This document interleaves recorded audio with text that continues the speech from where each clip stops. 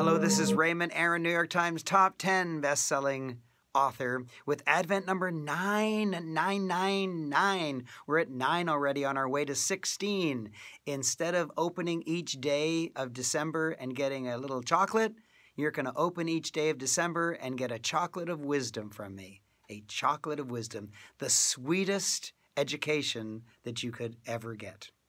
And there's no calories. It's wonderful. And today, what is today? Today is about be kind. Be kind. Oh man, that's so important. Be kind, be sweet, be loving, because you never know. You never know. And I remember one day when I taught high school in Toronto for two years in the regular public system. And about six years later, I was working at my office and I get a phone call ring, ring. And I pick it up. Hello, Raymond Aaron. Yeah, it's me, Bill Smith. I don't remember the guy's name now. And he said, Do you remember me? Well, I know as a teacher that I'm not allowed to say, No, I don't remember you. Because if someone is my student and I don't remember them, they'll get crushed. Because you look at your teacher all day long for the whole year, but the teacher looks at 30 of you and really likes four or five, remembers 20 or so, and forgets the other five or so. And so I've learned not to crush people. I've learned to say, oh, yeah, and then let them go on. He said, Remember me? Oh, yeah. He said, You said I could never make it in math. And I was so mad at you that I decided I would go to university and study math.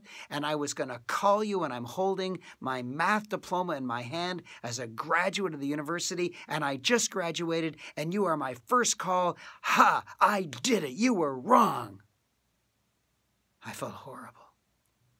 All those years, that guy was hating me, and his hate fueled his ugly passion to prove me wrong by graduating as a mathematician. Maybe that poor guy should have been a writer. He should have studied journalism or poetry or humanities or anything. And from my comment, he studied math. Now, I, I can't believe I said that.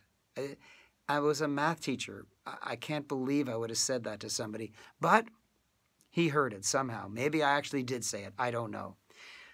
Whether I said it or he heard it, there was an unkind message received by him. And that caused him to possibly go on the wrong route for six years and maybe for the rest of his life. I remember in a spiritual path that I once studied, they had a three point rule for deciding if you should say something. And I want to repeat it because it's apropos in this subject. And the three rules were is it true? Is it necessary? Is it kind? Is it true? Is it necessary? Is it kind? So let's say you're talking to somebody and they're considerably overweight. Is it true that they're overweight? Yes. Is it necessary to say, wow, you're fat? No, it's not necessary. Is it kind? Absolutely not kind. And so you get two strikes against you, you don't say it, even if it's true. And I screen what I say against is it true? Is it necessary? Is it kind? In fact, I usually just use the screen is it kind? And I'm not always, I don't always get a passing mark. I've said things that aren't kind, and not at all to blame my mother, but my mom wasn't kind to my dad. She yelled at my dad so many times every day. I'm not exaggerating. Every single day, she would put him down and mock him and make fun of him. And that was my growing up years. From age zero to age 16, there was 16 years times 365 days, times four or five or six times my mom yelling at my dad, putting him down. And so I learned how to put people down. It's not a very good lesson, it's not a very nice thing. And you may have been in an audience in which I said something unkind to the audience or to an individual. And I regret those.